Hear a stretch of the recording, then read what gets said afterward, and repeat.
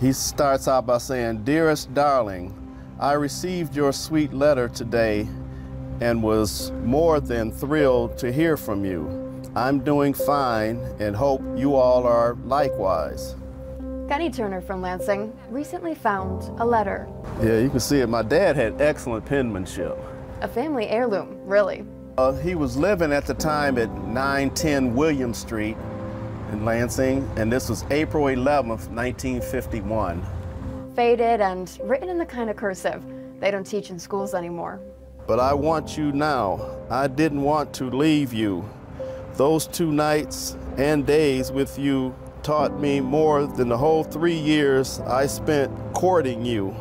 Had I known married life would be that sweet, you would have been my wife before even that. right. And this was not dad. yeah, he was not the type, you know, he wasn't mushy, you know.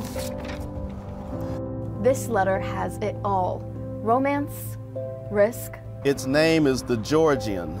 Catch it. It leaves about 10 minutes after the hummingbird gets there. It will bring you to Chicago. Then you catch the Grand Trunk Western, get a red cap to carry your bags, and tell them which train you want to catch. And that train will bring you to Lansing. It's in this letter that Kenny's father, William Turner, gave his wife, Marie Turner, the step-by-step instructions she needed to leave her small hometown for the first time and meet him north in Lansing, Michigan.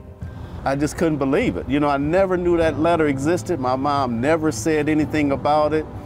And, you know, I really wish I had a chance to have sat down with them to discuss that whole migration. The Great Migration. But he says, I'm making $1.35 an hour. Do you think we can live on that? Kenny's family letter is remarkable for many reasons, but it's historic because it represents a trip, a risk many black families took in the mid 1900s. She had nothing. She, you know, not even a phone on the train or anything. You know, she just had to trust the process, you know, and uh, that's a lot of trust.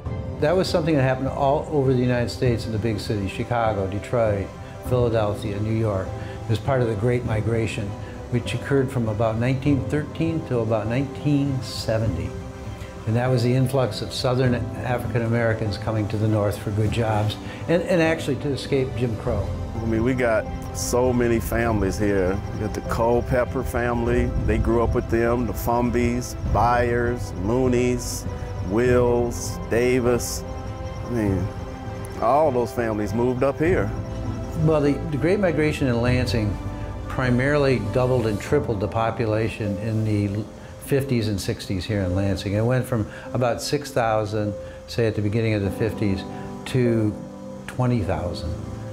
The carefully penned instructions on this love letter are a testament to the journey and fight of thousands.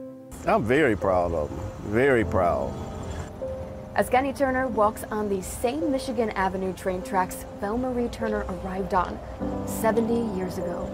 Just, it gets to me sometimes, you know, just thinking about it. Mom, I can feel your presence. I can feel it. Look at this.